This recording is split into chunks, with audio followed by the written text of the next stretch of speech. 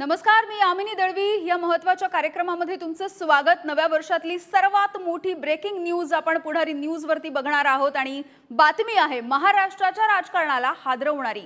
आणि हा आहे महाराष्ट्रामधल्या एका मोठ्या नेत्याचा कबुली जबाब आणि तोही जाहीर असा ऑन कॅमेरा पुढारी न्यूजने बेधडकपणे विचारलं या मोठ्या नेत्यानं सांगितलं आणि आता अवघा महाराष्ट्र ऐकणार आहे हा मोठा नेता म्हणजे महाराष्ट्रातील मोठमोठ्या राजकारण्यांना जेरी सांडणारे भाजपचे नेते किरीट सोमय्या. त्यांनी पुढारी न्यूजच्या ओपन फोरम कार्यक्रमामध्ये मनमोकळेपणानं वक्तव्य केलेली आहेत मात्र त्यांच्या बेधडक बोलण्यामधून काही धक्कादायक असे गौप्य गौप्यस्फोट सुद्धा झालेले आहेत.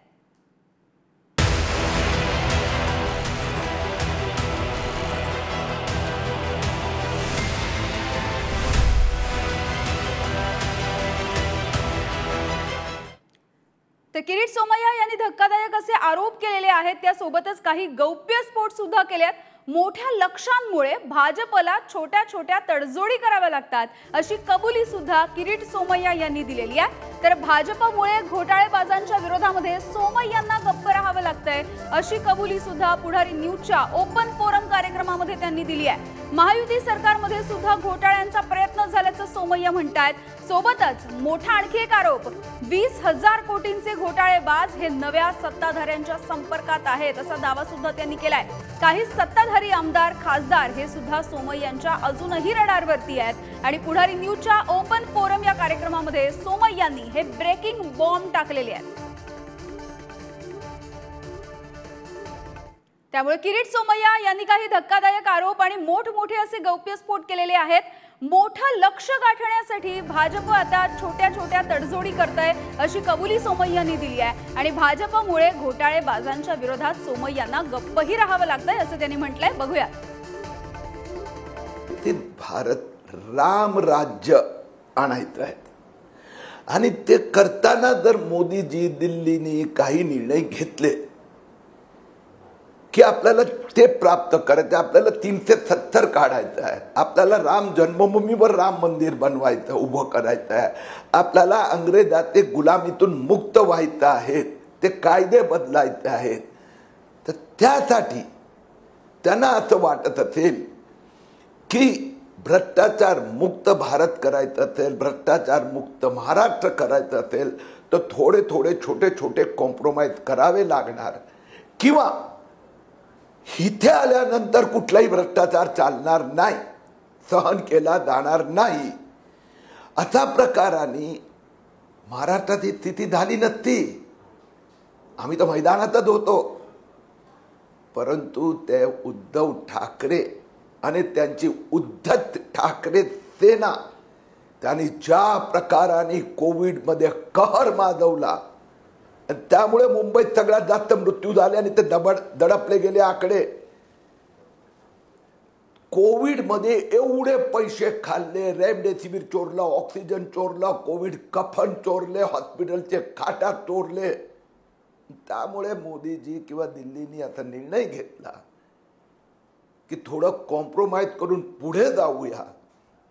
तर मी जसं आपल्याला सांगितलं मी कमळता सैनिक आहे. भारत मातेचा सैनिक आणि भारतीय जनता पार्टीचा कार्यकर्ता. माझ्यापेक्षा त्यांच्यावर जबाबदारी मोठी आहे. ते मोठे आहेत त्यांना जास्त समजते. म्हणून त्यांनी जर मला सांगितलं पण एक गोष्ट पुन्हा एकदा सांगतो. मला कुठलीही तक्रार मागे घेण्यासाठी आजपर्यंत सांगण्यात आलेलं नाही. ज्यांच्या विरोधात इन्व्हेस्टिगेशन सुरू झालं कोर्टात ज्युडिशरी प्रक्रिया सुरू झाली ती कुठली मागे घेतली जाऊच शकत नाही.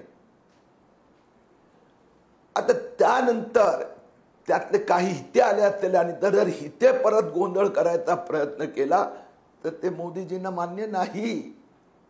हेही मी स्पष्ट करतो. तर किरीट सोमय्या यांनी ज्या पद्धतीने वक्तव्य केलेली आहेत त्या सगळ्याविषयी बोलण्यासाठी आपल्यासोबत ठाकरेंच्या शिवसेनेचे आमदार वैभव नाईक आहेत. सोबतच विरोधी पक्षनेते विजय वडेट्टीवार सुद्धा आपल्यासोबत जोडले गेलेले आहेत.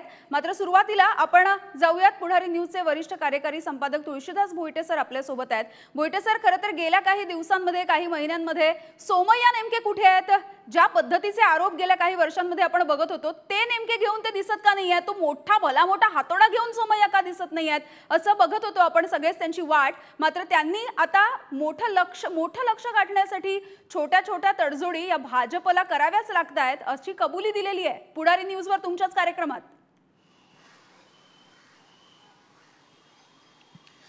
यामिनी हेच म्हणावं लागतंय की मोठे मोठे गोप्यस्फोट करणाऱ्या किरीट सोमय्या यांनी पुढारी न्यूजच्या ओपन फोरममध्ये महागोप्यस्फोट केलेला आहे. महाब्रेकिंग दिलेली आहे. नवा नव्या वर्षातील ही नवीच नाही तर मोठी ब्रेकिंग आहे. काय म्हणतात ते? त्यांनी मान्य केलेलं आहे की भाजपला मोठं लक्ष साध्य करायचं त्यांनी म्हटलंय सध्या बावीस जानेवारीला अयोध्येत राम मंदिरात श्रीरामाची प्रतिष्ठापना होणार आहे. राममय वातावरण करू लागली आहे भाजपा. एकंदरीत देशात तसं वातावरण होते आहे किरीट सोमय्या म्हणतात राम राज्य आणायचं आहे त्यामुळे स्वाभाविकच आणखी एक पुढचं लक्ष काय त्यांनी सांगितलं? जे प्रत्यक्षात आलं आहे काश्मीरातलं तीनशे सत्तर कलम गेलेलं आहे. मात्र हे सर्व करण्यासाठी काही छोट्या तडजोडी भारतीय जनता पक्षाला कराव्या लागणं भाग आहे असा एक प्रकारे अप्रत्यक्ष असा का होईना कबुली जबाब त्यांनी दिलेला आहे. हो. एक सांगतो तुम्हाला यामिनी की किरीट सोमय्या हे सारं बोलत असताना त्यांच्या चेहऱ्यावरचे भाव सांगत होते की मनातून त्यांना कुठंतरी खंत आहे की अरे हे मी काय करतोय? ते म्हणतात आहे की या पद्धतीनं इतर पक्ष सोबत येतात आहे.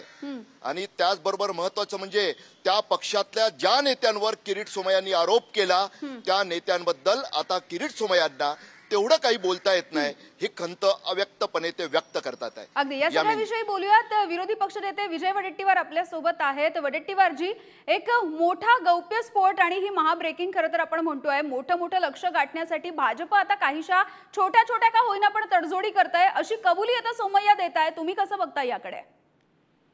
नाही बघा मला वाटतं की किरीट सोमय्या जे बोलले ते मनातून त्यांच्या जी काही खंत होती किंवा मनातल्या वेदना त्यांनी बोलले असणार. पण दुसरीकडे ते म्हणतात की आता आम्हाला रामराज्य आणायचं आहे म्हणजे रावणांना सोबत घेऊन रामराज्य कसं आणता येईल? म्हणजे राम आता एकीकडे रामराज्य आणा म्हणायचं. म्हणजे प्रभू रामचंद्राने सीतेचं अपहरण केल्यानंतर रावणाचा वध केला. रावणा रावणाला त्या श्रीलंकेत जाऊन मारलं. आता हे तर यांचं आत्ताचं रामराज्य म्हणजे रावणाशी मैत्री करणं. आमच्या सीता पळवून न्या आणि आम्ही तुमच्याशी मैत्री करू.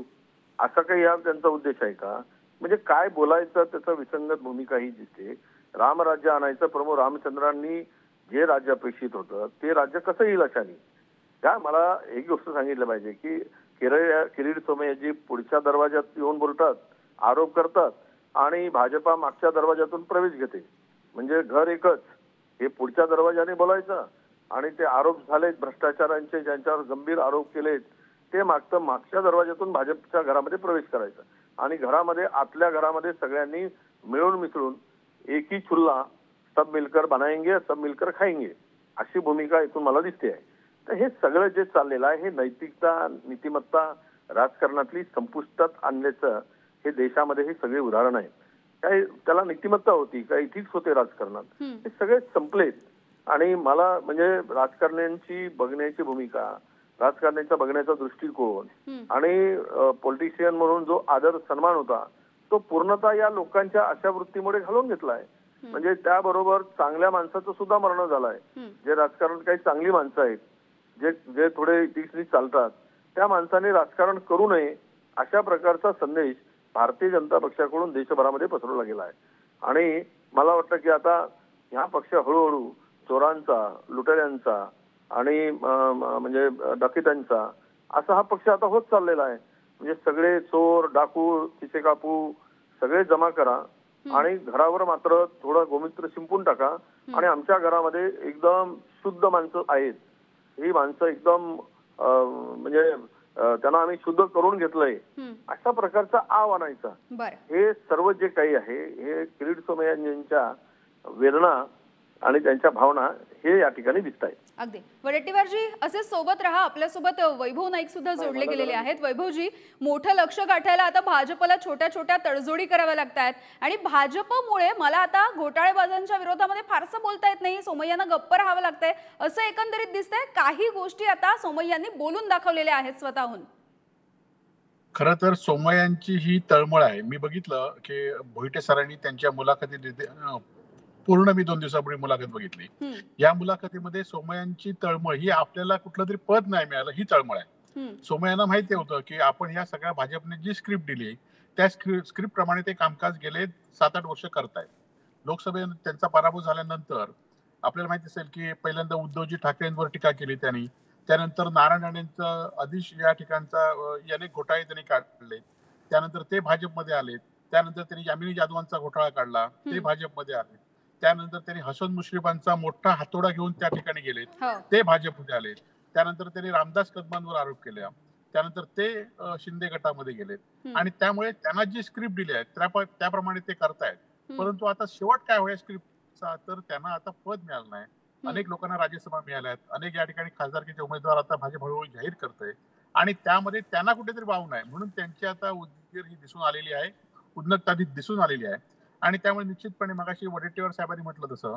की राम हा एकवचनी होता आणि तुम्हाला राम राज्य आणायचं असेल तर तडजोडी न करता राम राज्य आणा. तडजोडी न करता तुम्ही आज राम मंदिर उभारा आणि तडजोडी करून राम राज्य आणलेलं कुठल्याही भारतीय जनतेला आवडणार नाही हे मात्र निश्चित आहे. आज तुमच्यावर गेलेत की ते शुद्ध आणि तुमच्या बरोबर नाही राहिलेत की त्यांच्यावर चौकशी. आज काल पण त्यांनी कोविडचा घोटाळा काढला. आज मुंबई महानगरपालिकेच्या कोविडमध्ये आणि संपूर्ण वेगवेगळ्या महानगरपालिका आहेत. त्यांच्या कोविडमध्ये जो रेटचा जो दराचा फरक आहे या संदर्भात सगळ्याच महाबळी चौकशी झाली पाहिजे. परंतु फक्त मुंबई महानगरपालिकेची चौकशी करायची आणि उद्धवजी आणि आदित्यवर आरोप करण्याचा हा एक प्रकार त्यांचा चालू आहे. परंतु उद्धवजी आणि आदित्यजी दोघंही या ठिकाणी कुठल्या आरोपांना भीक घातलं नाही आणि त्यामुळे खरं तर त्यांना कुठे नामोहरम करायचं काय. यासाठी वेगवेगळ्या चौकशी करायच्या आहेत आणि जर त्यांच्यावर युती केली असती तर त्या- आता आपण बघितलं असाल की त्यांच्याबरोबर तुम्ही वागलात. छोटे छोटे पक्ष आज खरं तर मगाशी त्यांनी काय सांगितलं भोईटे सरांनी की आम्हाला छोटे छोटे पक्ष एकत्र करावे लागतील हम्म. एकत्र करावे नाही तर त्यांनी पक्ष फोडलेत हम्म. आज शिवसेना फोडली त्यानंतर राष्ट्रवादी त्यांनी फोडली. आणि हे फोडताना आमिष दिलं आता अजित पवारांवर काय होते हो. आरोप ह्याच त्यांनी आरोप केले होते. जडेश्वर कारखान्यावर आरोप केले होते आज त्याच अजित पवारांना तुम्ही म्हणजे आरोप करायचे त्यांना नामोहरम करायचं आणि मग त्यांना भाजपमध्ये घ्यायचं. तुम्ही खरं तर आरोप करून त्यांच्यावर आज तुमची सगळी सत्ता आहे. केंद्रात आहे राज्यात आहे सगळी सत्ता आहे ना तुम्ही त्या आरोपांची आरोपांच्या पाठी लागा त्यांची हो. चौकशी करा त्यांना जर योग्य असेल तर त्यांना गुन्हे हो. नोंद करा त्यामुळे राजकारण सुद्धा शुद्ध होईल. परंतु तुमच्यात गेल्यानंतर शुद्ध करण्याचा हा हो. जो हेतू आहे तो मात्र हो.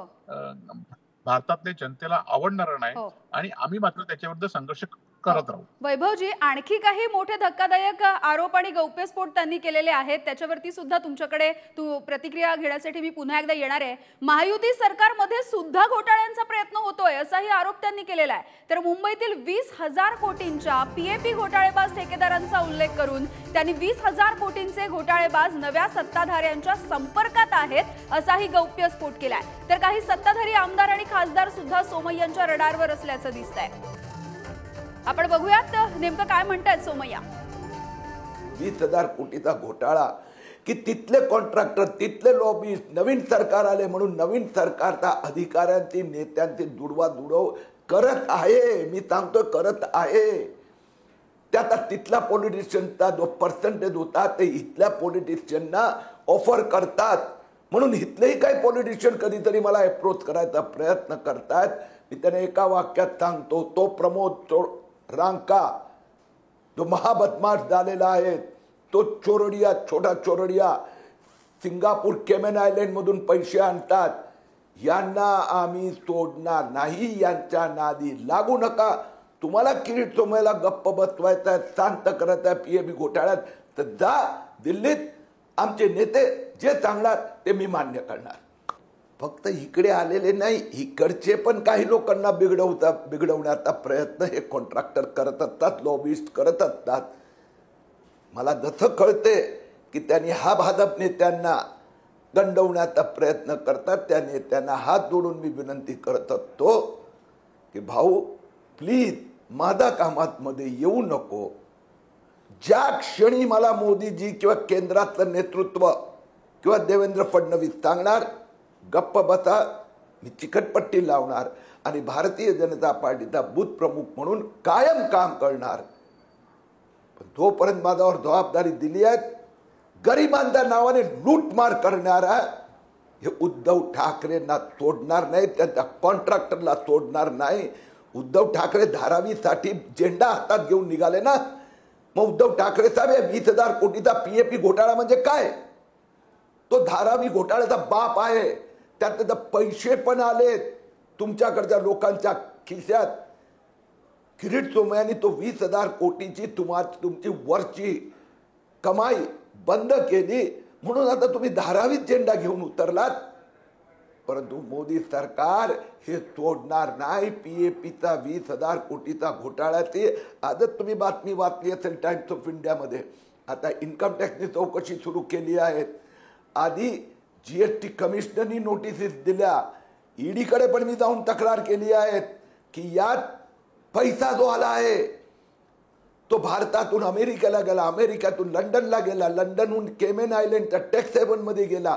तिथल्या बोगस सेल कंपन्यामधून सिंगापूरला गेला सिंगापूरहून पुण्यात गेला पुण्यातून चोरडियाच्या अकाउंटमध्ये गेला. त्या इंडिया मधून पैसे येतात चोरडियाकडे आणि ते इंडिया मूल तर पॅलेस रॉयल ते चोरड्या विकत घेतो. ते डी एस कुलकर्णीच्या प्रॉपर्टी विकत घेतो. हे घोटाळे आता बाहेर यायची सुरुवात झाली आहे. फक्त इकडे आलेले नाही इकडचे पण काही लोकांना बिघडवता बिघडवण्याचा प्रयत्न हे कॉन्ट्रॅक्टर करत असतात लॉबिस्ट करत असतात.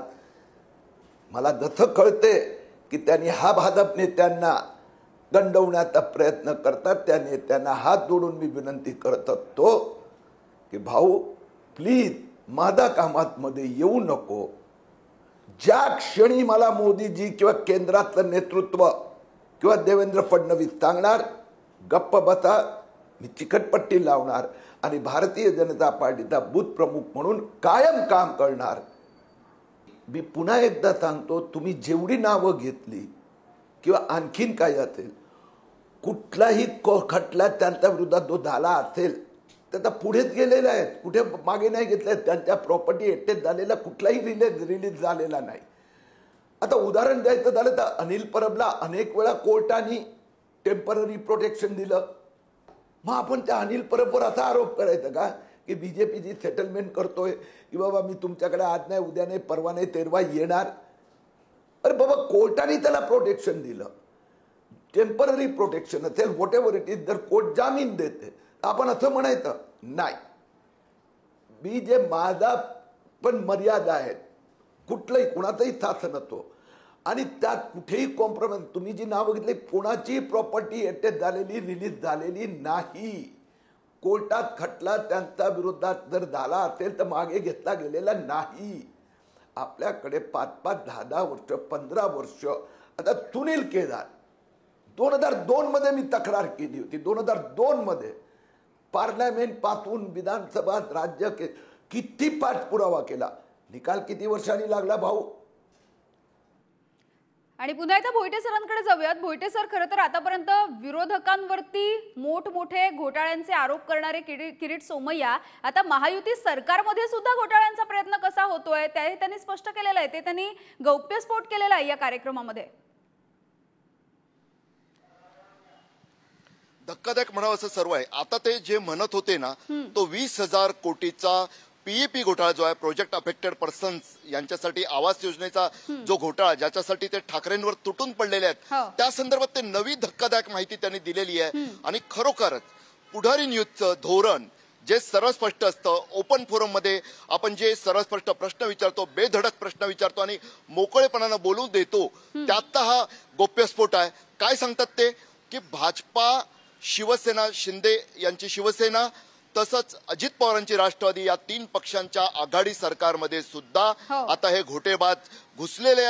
आहेत नेत्यांना मॅनेज करण्याचा प्रयत्न करतात. किरीट सोमय यांना भाजपाच्या नेत्यांना सांगावं लागतंय की बाबा तुम्ही या घोटाळ्याबाजांच्या मोहात पडू नका याचा अर्थ हा सुद्धा किरीट सोमय यांचा एक मोठा गोप्यस्फोटच नाही तर एक प्रकारे अप्रत्यक्ष असा कबुली जबाब आहे स्वतःच्याच सरकारच्या विरोधात सोमय्या पहिल्यांदाच पुढारी न्यूजवर बोलतात आहे. अगदी. वैभव नाईक आहेत आपल्यासोबत. वैभव नाईक यांच्याकडे जाऊयात. वैभवजी तुम्ही कसं बघता या सगळ्या त्यांच्या आरोपांकडे आणि या गौप्यस्फोटाकडे खरं तर मी मगाशी सांगितल्याप्रमाणे की ह्यांना जोपर्यंत मोदी पद देत नाहीत तोपर्यंत त्यांचा हा हे सुरूच राहणार आहे. आणि ते स्वतःच्या स्वार्थासाठी ह्या अशा गोष्टी करतायत. आज त्यांनी अनिल परमांचं नाव घेतलं सुनील केदारांचं नाव घेतलं. सुनील केदार आणि ह्यांच्या ह्यांनी तक्रार केली अशी सुनील केदारांची तक्रारच नाही तिथल्या स्थानिक अं, लेखापरीक्षकांची तक्रार केली होती. म्हणजे एखाद्याला शिक्षा झाली तर मी केली आणि शिक्षा नाही झाली तर माझा अजून लढा सुरू आहे असं जे सोमय सांगतात ते पूर्णपणे चुकीचं आहे.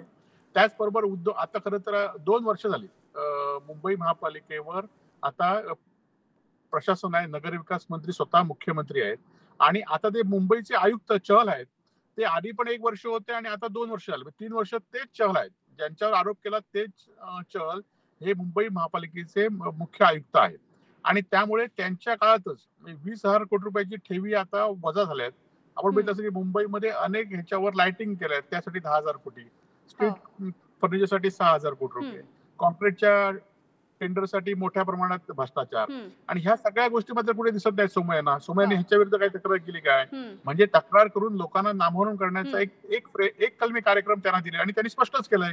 की मला जोपर्यंत फडणवीस सांगतात किंवा वर्ण आदेश येत नाही तोपर्यंत मी ह्या थांबणार नाहीत. त्या आल्या की मी थांबणार त्या हो. त्यांनी म्हणजे आपण बघितलं असेल की शिंदे शिंदेचे काही आमदार सुद्धा हम्म. त्यातनं बाहेर पडायला बघत होते परंतु त्यांना पटलं की लोकभावना काय आहे हो लोकभावनेच्या विरोधात त्यांनी भूमिका घेतली होती परंतु हे हो. असे आरोप हे चालूच ठेवणार म्हणजे त्यांच्यावर टांगती वैभवजी खर तर पुन्हा एकदा तुमच्याकडे येते. किरीट सोमय्यांनी ओपन फोरमच्या कार्यक्रमामध्ये मनमोकळे अशी उत्तरं दिलेली आहेत. मात्र यावेळेला त्यांनी भाजपकडे बोट सुद्धा दाखवलंय आणि मोठं लक्ष साध्य करण्यासाठी पक्षाला भ्रष्टाचारांना सोबत घ्यावं लागतं असं त्यांनी म्हटलेलं आहे. हा गौप्यस्फोट सुद्धा त्यांनी केलाय. मात्र त्याच वेळेला त्यांनी आपला राजकीय मुरब्बीपणा सुद्धा दाखवलाय. आणि घोटाळेबाजीचे आरोप असणाऱ्यांशी तडजोड करण्यासाठी आपल्याला पक्षामधून कुणीही दबाव टाकला नाही किंवा आतापर्यंत आपल्याला कुणीही तक्रार मागे घ्यायला सांगितलं नाही असंही सोमय यांनी म्हटलेलं आहे. भोयटे सर. स्वाभाविक आहे म्हणजे शेवटी किरीट सोमय्या आपण ओपन फोरममध्ये शेवटी तेच मांडलेलं ना की किरीट सोमय्या भ्रष्टाचाराच्या विरोधातले लढणारे कर्दनकाळ अशी त्यांची प्रतिमा आहे. ते बेधडक बोलतात बिंदास बोलतात पण त्याच वेळी यामिनी एक विसरता येत नाही. किरीट सोमय्या एक राजकारणी सुद्धा आहेत. ते राजकीय नेते सुद्धा आहेत. त्यामुळे स्वाभाविकच त्यांनी शेवटी जाता जाता सर्व गोप्यस्फोट करून झाले. सांगितलं त्यांनी की मोठं लक्ष साध्य करण्यासाठी भाजपला काही वेळा काही तडजोडी कराव्या लागतात. त्यातून राष्ट्रवादीचा अजित पवार गट येतो. हो. तिथे शिंदेच्या नेतृत्वाखाली शिवसेनेचे येतात. ज्यांच्या विरोधात ते आरोप करत होते. त्या भावना गवळी असतील किंवा अन्य काही नेते असतील. हसन मुश्रीफ सुद्धा सध्या मंत्री आहेत. राष्ट्रवादीचे अजित पवार गटात जाऊन या सर्वांच्या विरोधात किरीट सोमय्या पुढे काही बोलत नाहीत. त्यांनी त्यावर बचाव केला. किंवा. न्यायालयात केस गेली की मी काय करतो? सर्वांच्या केसेस न्यायालयात गेलेल्या नाहीत यामिनी मात्र तो बचाव सुद्धा त्यांनी केला आणि अखेर मला कधीही पक्षाने तडजोड करायला या प्रकारचं की तक्रार मागे घे असं सांगून त्यांनी एक मखलाशी करण्याचा सुद्धा आपला राजकीय मुरब्बीपणा दाखवलेला आहे. हे तुमचं म्हणणं योग्य आहे. सर. वैभव नाईक यांच्याकडे जाऊयात. वैभवजी या सगळ्या प्रकरणावरती या सगळ्या आरोपांवरती गौप्यस्फोटांवरती अगदी शेवटची तुमची प्रतिक्रिया. तीस सेकंदात. सगळ्या गौप्यस्फोटावर जी प्रतिक्रिया असेल तर भाजपने ज्याप्रमाणे भाजप स्क्रिप्ट देते त्याप्रमाणे सोमय वागतात. सोमय्यांना सांगितलेलं आहे की पक्षात ते आपल्या पक्षाची ताकद कमी होते. हे त्यांनी अनेक वेळा बघितलेलं आहे. त्यामुळे दुसऱ्या पक्षातले लोक घेतले पाहिजे. दुसऱ्या पक्षातल्या भ्रष्टाचारी असले तरी ते लोक घेतले पाहिजेत. दुसऱ्या पक्षाच्या लोकांवर दबाव राहिला पाहिजे. म्हणून ते आरोप करत असतात. आता त्यांनी मग सांगितलं की यशवंत मुश्रीफांवर त्यांनी तक्रार मागे घेतली नाही. परंतु तक्रार तक्रार झाल्यानंतर ते जे दोन वर्ष हातोडा घेऊन कधी ट्रेनने बसने जात हो. होते ते आज मात्र थांबलंय. आज यामिनी जाधवांवर तसंच ते आरोप करत इन्कम टॅक्सची धाड पडली मी. चाललो माझी तक्रार झाली आज त्यांनी भावना गोळीवर आपण बघितलं असाल की मोठा या सांगितलं. त्यांच्या गाडीवर दगड घेतले. दुसऱ्या दिवशी ट्रेनने गेले हम्म. आणि हा त्यांचा जो शो शायनिंगपणा होता. तो मात्र आता आता कुठे आहे. म्हणजे तक्रार माणसाची तक्रार काही हो. दररोज होत नाही ईडी तक्रार दिली हो. पुरावे दिले की हो तक्रारीचा तपास सुरू होतो परंतु ह्यांचं काय होतं की वातावरण करायचं. त्यांना बदनाम करायचं आणि मग त्यांना आपल्याकडे त्यांच्यावर दबाव ठेवायचा हो तुमचा मुद्दा लक्षात आला. खरं तर वेळ कमी पडतोय ही चर्चा अशी सुरू राहणार आहे. खूप खूप धन्यवाद तुमच्या दोघांचेही भोयटे सर तुम्ही आणि वैभवजी. तुम्ही दोघांनी सुद्धा तुमचा वेळ दिलात आणि सविस्तरपणे चर्चा केली ती यासाठी आणि यानंतर या कार्यक्रमामध्ये वेळ झाली इथे थांबण्याची पाहत राहा पुढारी न्यूज.